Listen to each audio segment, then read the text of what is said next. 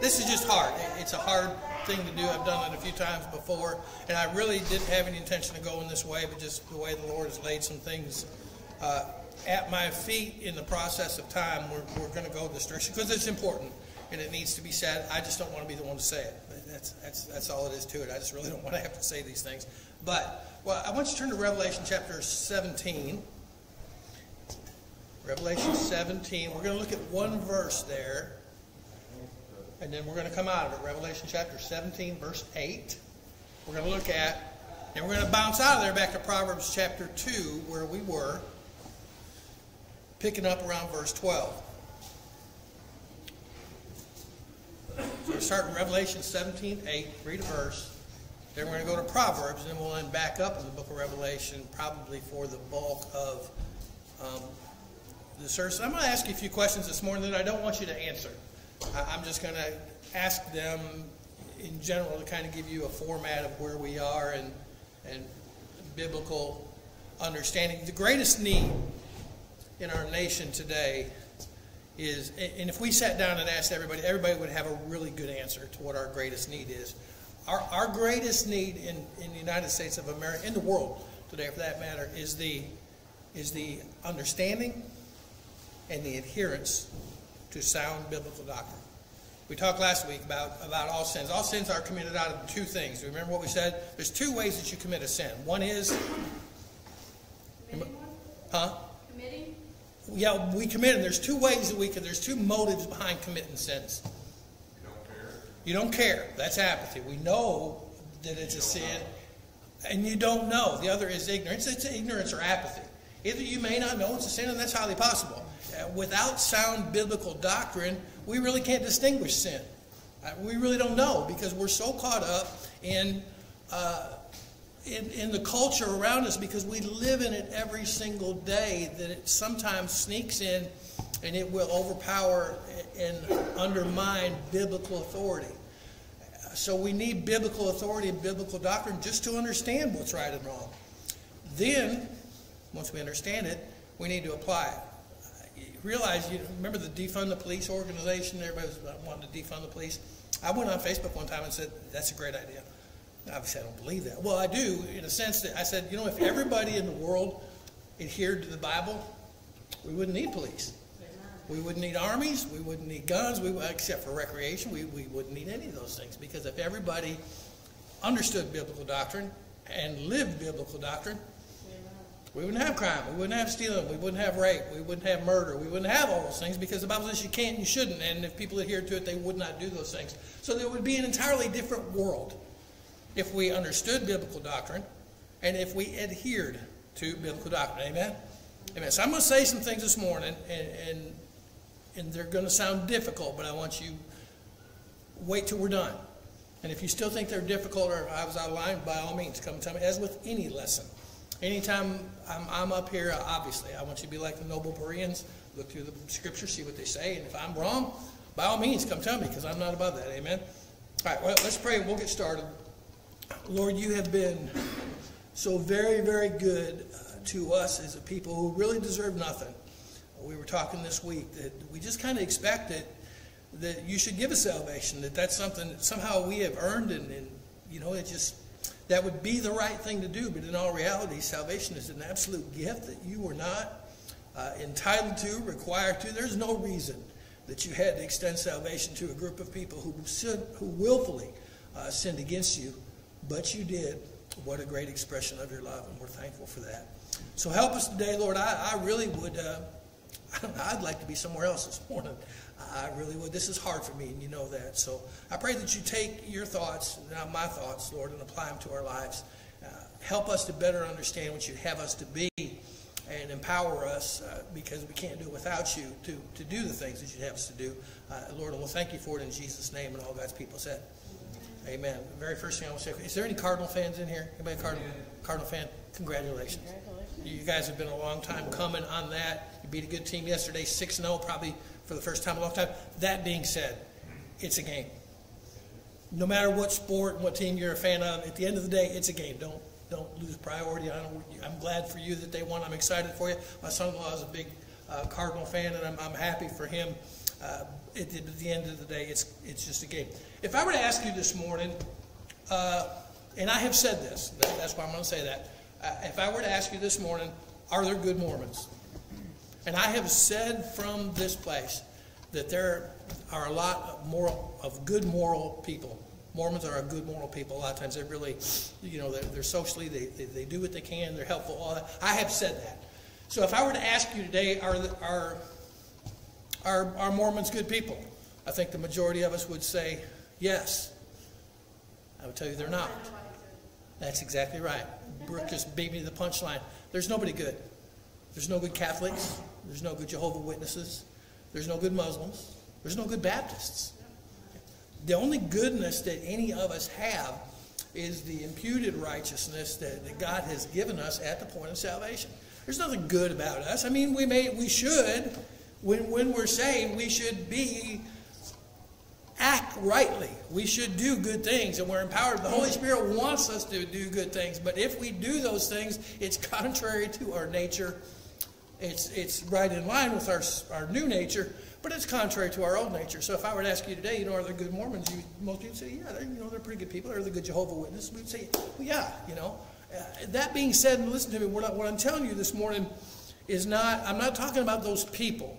I'm talking to you about some doctrines, and I'm talking to you about some things. And basically, this is the greatest need today is for understanding biblical doctrine. In Revelation chapter 17, verse 8, we're just going to read one verse there. And then we'll come back to it.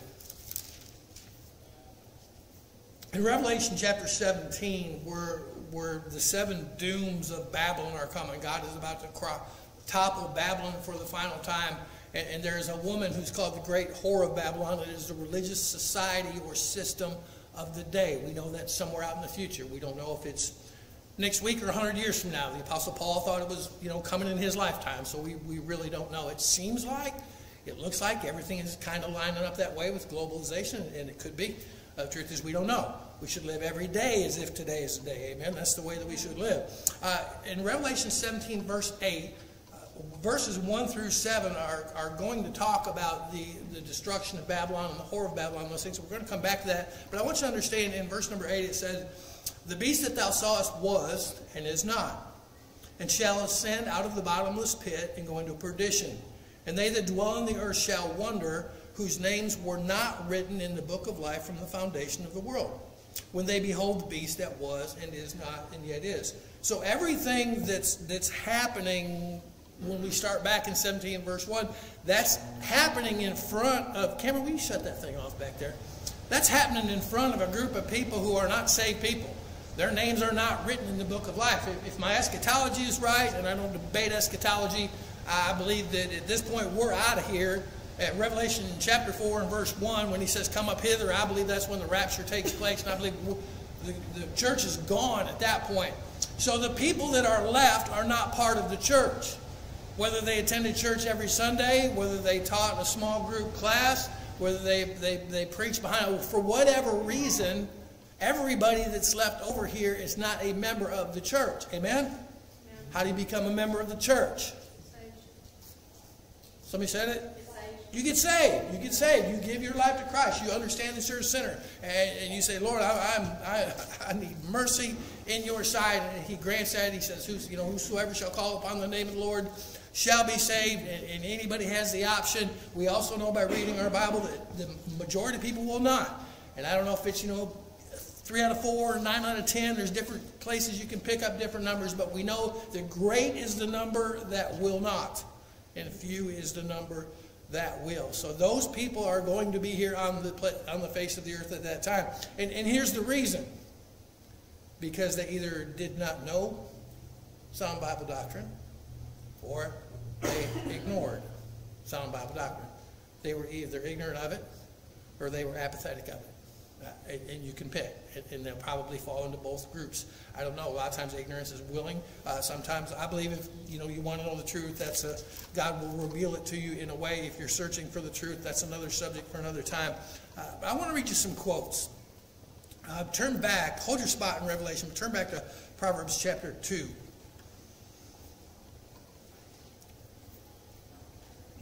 Proverbs chapter 2 in verse 12 through 15. We're going to read about that guy we read about last week, the, uh, the froward man.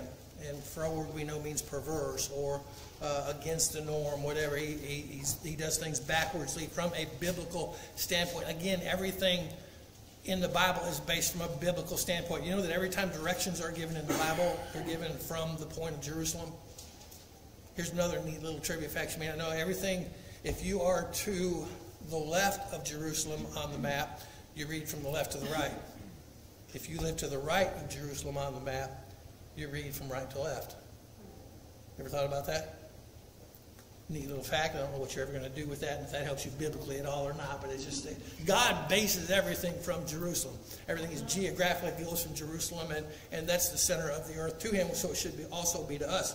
At Revelation, or proper Proverbs, excuse me, uh, chapter 2 and verse number 12, we learn about discretion and wisdom and understanding and knowledge, and all those things were to keep us from what? To deliver thee from the way of the evil man, from the man that speaketh froward things who leave the path of uprightness. Now, we talked about that, and I'm not going to spend a lot of time on it, but these people, obviously, you have to be on the path of uprightness to leave it, right? So these people had some direction, apparently, and, and they got off of it to walk in the ways of darkness, who rejoice to do evil and delight in the frowardness of the wicked, whose ways are crooked, and they froward in their paths, or they go in opposite direction of what the Lord would have you to do. Now, if I were to... Uh, I don't think it would probably happen in this group this morning because you're a pretty Bible savvy group. But if I were to probably go on Facebook or some form of social media and ask some questions about um, our different groups, Christian groups, if I say are, are Mormons Christians, I think the vast majority of even Baptists, I, I think would say, sure they are. I say well, Jehovah Witnesses. Are they Christians? I think the vast majority of people would probably say, well, yeah, as a matter of fact, there are a lot of people who believe that we're all going to the same place, whether you worship Allah or whether you're Buddhist or whatever you are. We're all going to the same place. We're just going different routes. That's a pretty common common theology at this point. So if I were to ask you those questions, uh, you know, you probably would not because you're familiar with Bible doctrine. But a lot of people would say, uh, yeah, yeah, yeah, they're, they're all Christian groups. Let me read you a couple things just from one of these groups and see, uh, see how it sounds to you biblically. This is from a book called Kingdom of the Cults. Dr. Uh, Walter Martin wrote it. It's an older book. I'm, I'm, sure you can probably still get it. But here's some things that from one of these groups. I, will just go ahead and tell you. This is this is some writings from the Mormons, from the Mormon Church. It says, in the beginning, the head of the gods called a council of the gods, and they came together and concocted a plan to create the world and the people in it. That's you laugh, but there are possibly millions of people in this organization. And that is from the teachings of the prophet Joseph Smith on page, I assume it's page 349.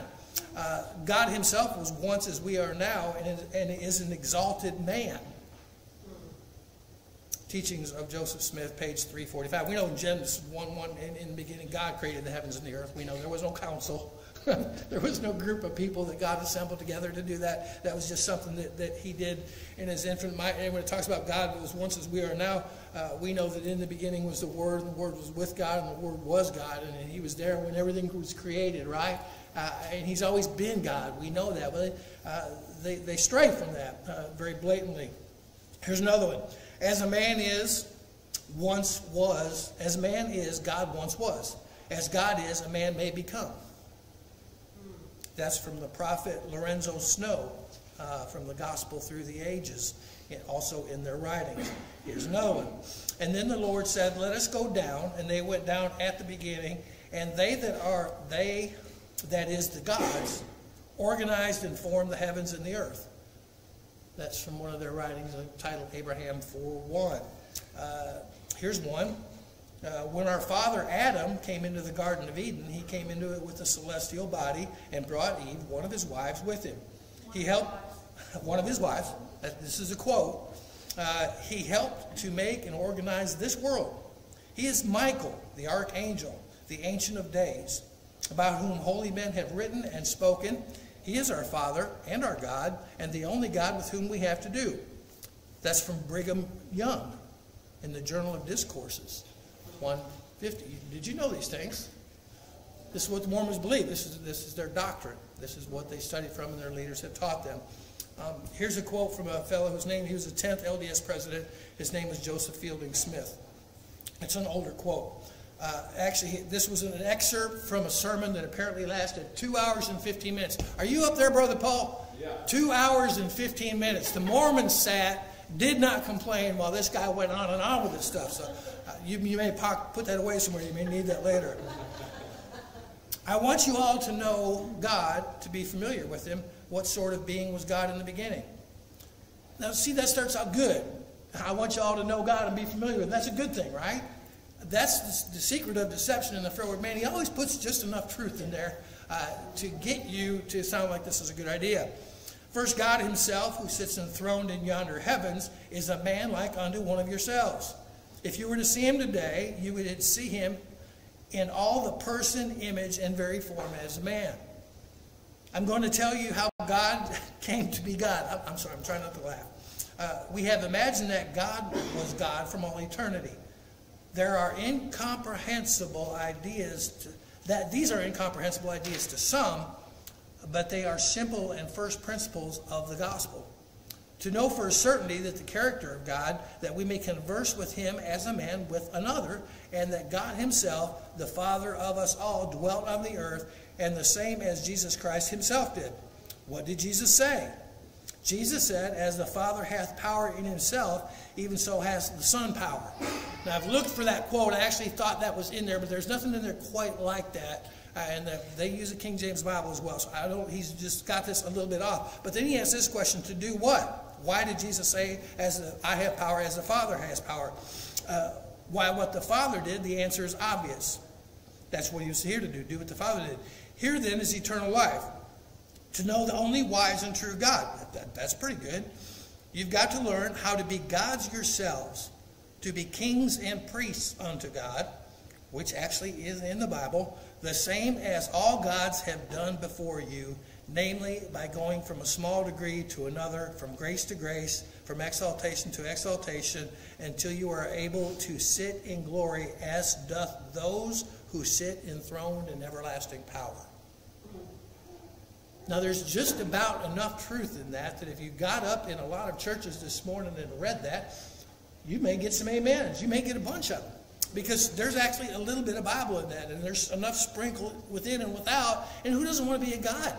I mean, come on, who wouldn't who wouldn't want to do that? We watched what was that with the, the grandkids the other day. Uh, the, the, little island girl, Moana. Moana.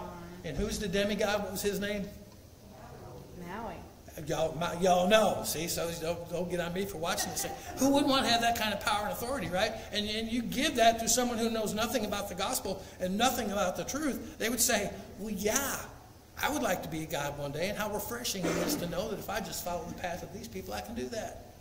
Amen? Where's that lead eventually? It's a bad day. That's a very, very bad day. Good people do not teach this. You, do you hear me? This is not good. And I'm not saying that all Mormons are bad. Well, I'm not saying that all Mormons teach deception. But if they teach this, they're teaching deception. It may be all they know. However, it's not good. It is not a good thing. And you know, at one time, and this has been some years ago, and I haven't looked it up recently, but they said that the pews of the Mormon and the Jehovah Witness Church were packed with people who used to be Baptists. How does that happen? Every one of you are sitting in here and you're looking aghast at me when I read these quotes, thinking that's that's absolute blasphemy. And you are right. So how do people who sit in Baptist church or any other church for that matter every day hear this and not know that it's blasphemy? We didn't do a good job teaching. Somebody didn't. Somebody either didn't know the truth or did not teach the truth. Let me, let me give you a couple more. This would be from the Jehovah Witnesses. Just a few. And I'm not going to do a lot of these. And literally, if you can, it, I, I will let you borrow this book if you want to. It has a lot of different groups in it. Um, but I'm not going to spend a lot of time on this one. I just want you to know a few things. This is from uh, Kingdom of the Cults also. And this is uh, the Jehovah Witnesses' view of the deity of Jesus Christ. At the time of his beginning of life, he was created by everlasting God, Jehovah, without the aid or instrumentality of any mother. In other words, he was the first and direct creation of Jehovah God. He was the start of God's creative work. He was not an incarnation in flesh, but was flesh, a human son of God, a perfect man, no longer a spirit, although having a spiritual or heavenly part or background. Now, they tell me that most Jehovah Witnesses can twist the average Christian into a spiritual pretzel in about 90 seconds because what they know, they know. They know it very well. And, and they can, you better know what you know because if you don't, they're going to get you believing what they know very quickly if you don't understand biblical doctrine. Here's another one. Uh, this one was not Jehovah God, speaking of Jesus, but was existing in God's form. He was a spirit person. He was a mighty one, although not almighty as Jehovah God is. He was a God, but not the almighty God who is Jehovah. Speaking of Jesus. Does your Bible teach you that? No. No, it does not teach you that. Uh, beginning, or being the only begotten Son, the Word would be a prince among the, the Word would become a prince among all other creatures. In this office, he, Christ, bore another name in heaven, which is Michael. Other names were given to the Son in course of time. That's the teaching of the Jehovah Witnesses. Let me give you a couple just on, on hell real quick. Uh, the Bible's hell is mankind's common grave. Uh, they believe there is no punishment. There is no there. What, what do we call that? Uh, annihilist. Annihilist, I believe it is. We call it when they believe that once you die, if you're not a part of Christ, you just cease to exist. That's all there is. Uh, that's not a very motivating factor not to sin, but it's a popular one. Here's another one. Hell could not be a place of torment because such an idea never came into the mind or heart of God. Additionally, to torment a person eternally because he did wrong on earth for a few years is contrary to justice. How good it is to know the truth about the dead. It can be truly it can truly set one free from fear and superstition. Yeah, sets you free from fear. You don't think that there's any punishment or judgment out there one day for your sin. Why do I say these things? We're reading about the the perverse man. And I don't know about you, but every time I, I, I read these verses, I think about somebody that is in a physical body that's trying to get me to go drinking or trying to get me to, you know, go do something, go to a strip club or something that my, that my flesh might want to do that I know I shouldn't do. I don't look at these things generally as spiritual illustrations, but it is. Now, that perverse man can also lead you into doing things physically that you know you shouldn't do.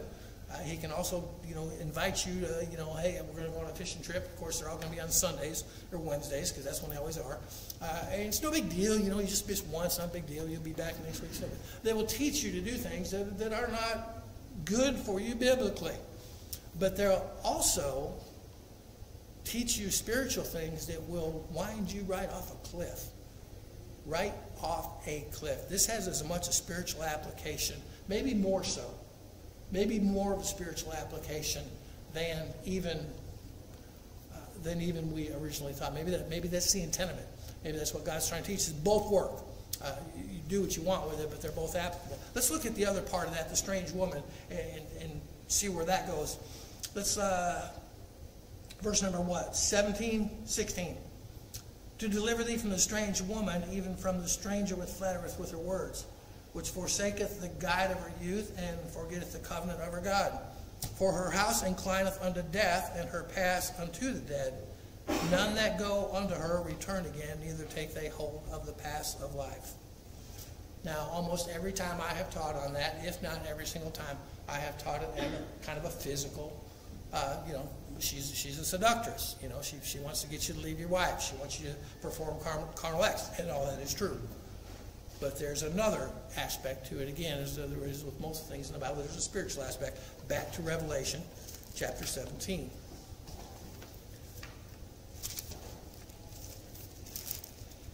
The greatest need in the world today, including the church, is the understanding and the adherence to biblical doctrine.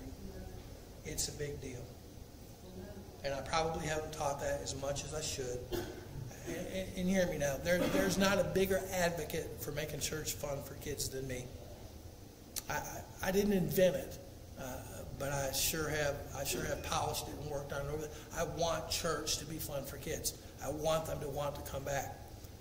But a lot of people that are out there looking for a place for their kids to go to church, they're looking for well, what kind of activities do you have? Uh, you know, what, what, what do you you know, what can you do for my kids? We, we shop, we're consumers for churches. We shop churches looking for what they can offer us. The greatest thing any church can do for you is give you strong, sound Bible doctrine. If they do everything else right and miss that, it's not a church. It's not what God intended as a church. And it's important that parents get strong physical or strong spiritual doctrine because if you don't get it, the odds of your kids getting it are greatly diminished. Now, God's God's supernatural God, and He can do things. He took me out of a home that had zero Bible doctrine. As far as I know, I think I think my grandma did, but my mom had like zero. My dad never went to church, not even Christmas and Easter. My mom would go on with my dad almost funerals and weddings. That's when my dad went to church. That was the only time. So God can take people out of places like that and put them uh, in places where they can learn strong Bible doctrine. But it's not His design. What is God's design?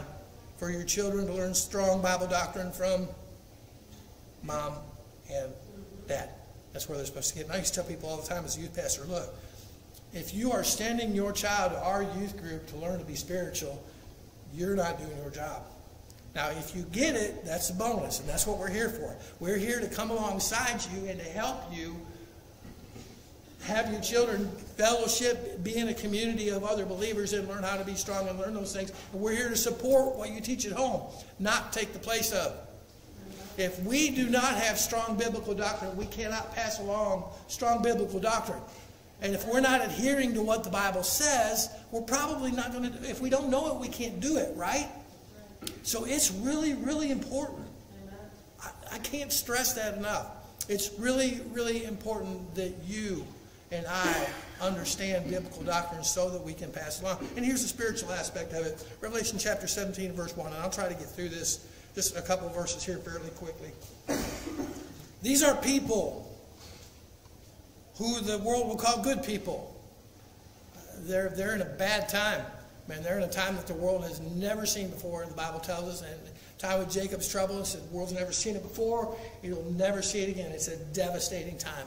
And they're all people there because they made the choice to be there. Or I'm not going to go into, you know, if they didn't hear the gospel. I, I think God makes the truth available if you want the truth. Uh, according to Romans chapter 1 and some other places. If you're searching for truth, God will get truth to you if you want truth. Uh, Revelation chapter 17, verse number 1. And there came one of the seven angels which had the seven vials and talked with me, saying unto me, Come hither, and I will show unto thee the judgment of the great whore that sitteth upon many waters. Well, what in the world does that mean? Uh, she has seduced nearly everybody in the world. Nations, kings, everybody has fallen underneath this woman, and she's called the great whore. She is the religious system of the last days. And what most people everybody has so many ideas about globalism and all the benefits it can have and, and all the things that it can do. And of course, it's amazing that a guy from you know 2,000 years ago wrote all this stuff down that we would get under a, a, one currency, which we all said could never happen. I think they could digitalize it tomorrow, digitize it tomorrow if they wanted to. The, the econ- I think I think it's pretty close. I think that's what they're actually going for. We had no concept growing up that anything like this was even remotely possible, and we're this close to this stuff going on. And, you know, God says, uh, hey, he says, uh, this woman is going to sit upon many waters. And if you look down verse number 16, that can be kind of confusing. Or verse number 15, it says this, And he saith unto me, The waters which thou sawest, where the whole world, where the horse sitteth, are peoples and multitudes and nations and tongues. So this woman is a religious system that's sitting on top and in charge of everybody in the world. And once a one, we get a one world government, it's going to be the religion they pick. You got no choice. There, there's not going to be freedom it's going to be conformity. That's conformity or death. And, and, and, you know that, I think, so I don't have to spend a lot of time there. Verse number two.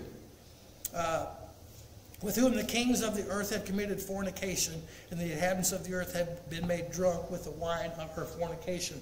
Fornication, we talked about, I think last week, is sex before marriage. That means that these leaders and these kings and these nations and the people that are running the planet are not part of the bride of Christ. Because the church left in Revelation 4 1. So this is not adultery. They were not followers of God at one point and then left. I, I, would say by the meaning of this, they're people that never had a relationship with Christ, never desired a relationship with Christ. They didn't leave it. Uh, they, they just rejected it. They flat turned away from it. And so they were never married. This is, this is seduction uh, and, and, that kind of thing outside of marriage. And then it talks about, in the bottom of that verse, about being made drunk with the wine of her fornication. Their judgment is impaired with her doctrine. Their judgment is impaired with her doctrine. Now, if you drink enough alcohol, your judgment will be impaired. How many of you say amen right there? Yeah, I've made some really bad decisions on alcohol. Matter of fact, I don't know that I've ever made a good decision on alcohol. Uh, probably to go home and quit drinking was the best decision I ever made. But they're going to make bad decisions because of the influence that they're under. And we are all making decisions under the influence that we willingly submit to. When we do things that we should not do, it's because we were under the influence of our flesh or somebody else or whatever, and we willingly submit to do things that we should not. That's what these people are doing. The only difference is it's like the whole planet at this point. And because of their lack of discernment, they're happy to stay in it. See, Brother Tim, that's kind of that's kind of outlandish. Can I just bring up to you a little brief history of Germany in World War II? Not that long ago not that long ago. And we should all remember it, and we should probably teach it in our classes in our schools every day. I don't even know if they teach World War II or not, but there was a guy that took over, and, and he was never excommunicated from the Catholic Church. Adolf Hitler was a member of the Catholic Church. Never excommunicated. And if you read some of his writings, we don't have time this morning, but he was heavy into the, the Jesuit priests, uh, the Catholic Church. He was a big believer, and, and they started just singling people out. You know, this group, the, the homosexuals, the, uh, the, the, the, Down syndrome people, the people who had physical conditions which weren't part of the superior race. And eventually they got to the Jews, because that's what the devil always wants to do anyway, is kill the Jews. And the Bible tells me there's some horrible things going on in Israel right now. But, but people who, who you would think were good people, and I, we probably all heard the story about the one woman that talked about from World War II. She said, you know, we, we had a church right beside the tracks and they would bring trainloads, carloads of people, Jews, by going to the concentration camps. And they would scream and holler for help. And we would hear the trains coming, and it got to be that we started singing songs when we heard a train coming because to drown out their screams. And we would sing hymns louder and louder and louder just to drown out the cries because we did not want to hear them. Did you get that? People who are sitting in church are singing hymns so loud that they can't hear people being hauled off to their death. How do, how, does, how do we ever get to that point? They were under an influence and a seduction and a force so strong that once they got under it, they couldn't get out from underneath it and didn't attempt to. Now, there were people in Germany who did, uh, what's uh, Corrie ten Boom, uh, some of those people who, who made it their lives trying to get the Jews out of there and help you. So there were a few, there was a remnant who held, but by, you see, here's what I'm trying to tell you. There were people just like me and you in Germany that just slowly, gradually kept giving in and giving in and giving in until they got to the point where they wouldn't stand up. And you think, I could never get there. I hope that's true. I hope that I could never get there. But I'm watching the way things are rolling out.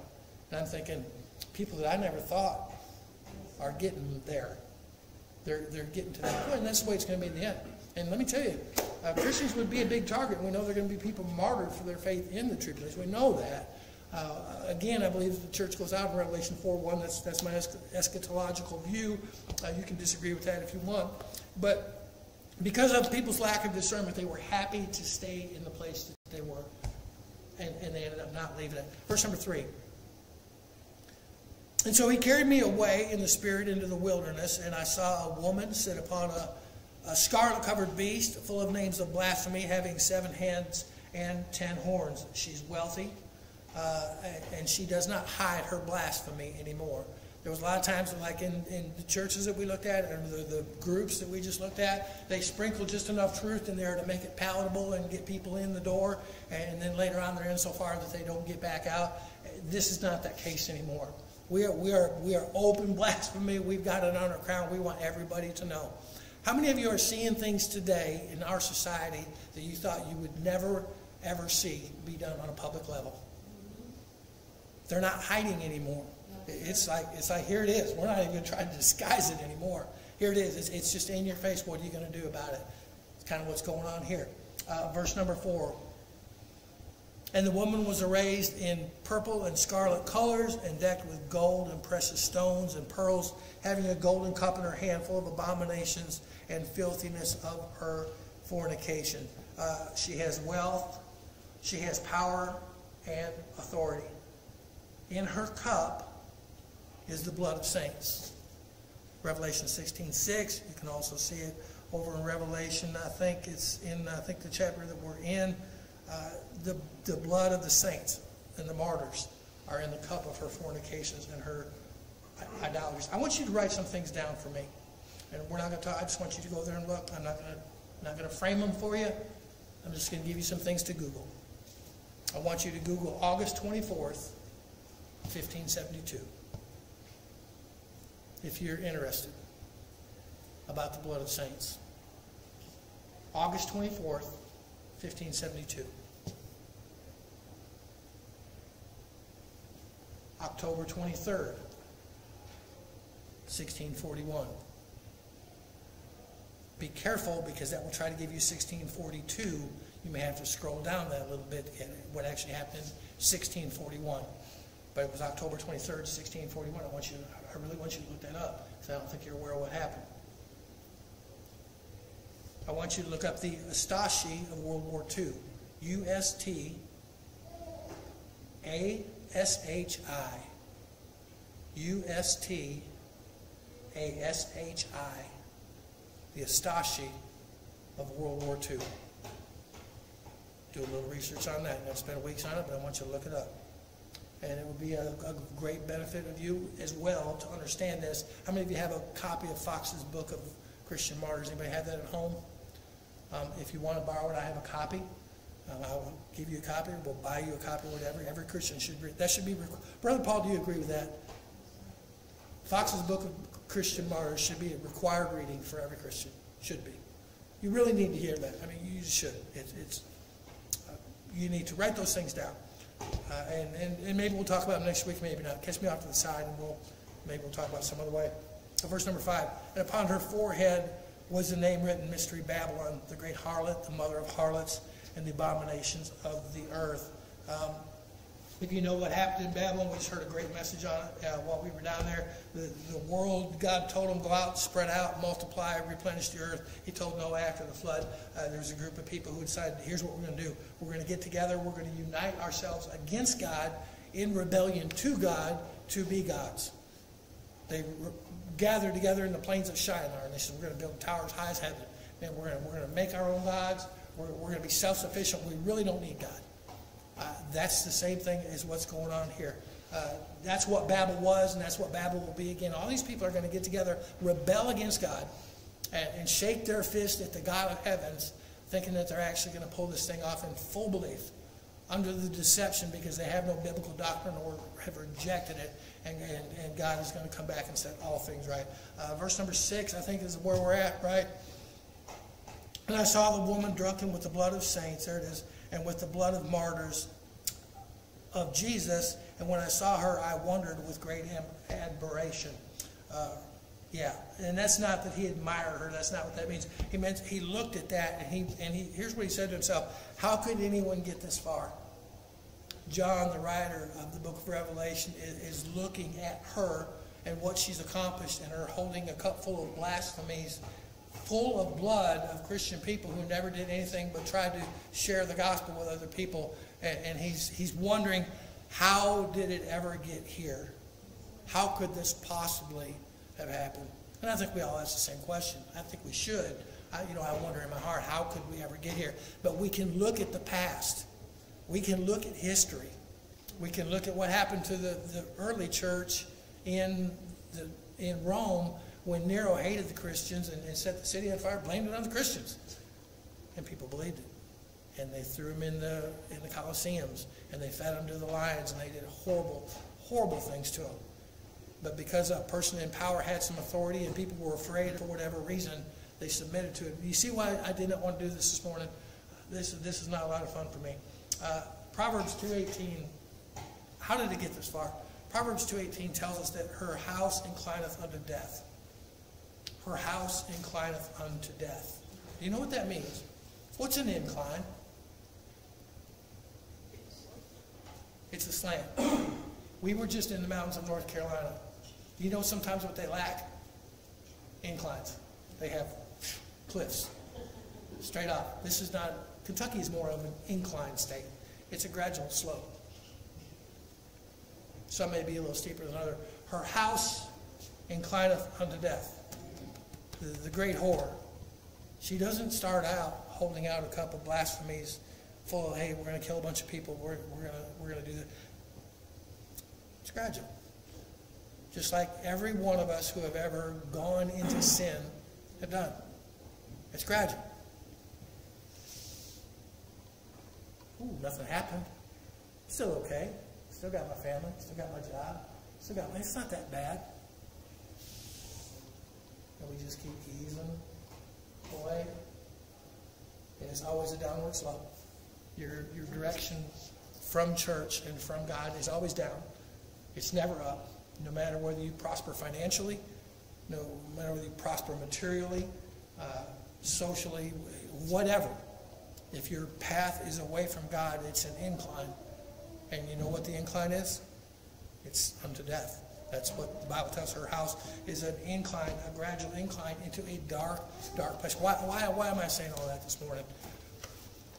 I, just, I, I, was probably coming this direction anyway, but I was so, so, God so impressed on me the, the need for, for doctrine and for us to wake up a little bit because um, we can get comfortable here and think, I'm okay. You know, I'm coming to church a couple times a week or two or three times, and I'm doing good, and maybe you are, and that's great. I hope that you are. I hope that your path is steadily inclining up. But we must be very, very careful, not for ourselves, but for our brethren and our brothers and our sisters in Christ as well. And when we see them easing away, we need to wrap our hands and arms around their ankles and plead with them and love them and do everything we can, as well as the lost who are inclining this direction. We know where they're going to end up. This is not maybe. This is absolute assuredly. This is, this is where this is going. And the only hope those people have is us. That's it. Amen? If we aren't, if we aren't standing in the gap, it's a steady incline until they can no longer ascend back up again. It's down, down, down, and we know where it ends. Cheerful stuff, huh? There are no good people. You're not good. I'm not good. Well, Paul's probably better than us, but he's not good either. Uh, just the righteousness that God has given us is all the only goodness that we have. And it's the only thing that we can exercise. We cannot be kind enough to anybody to get them into eternity.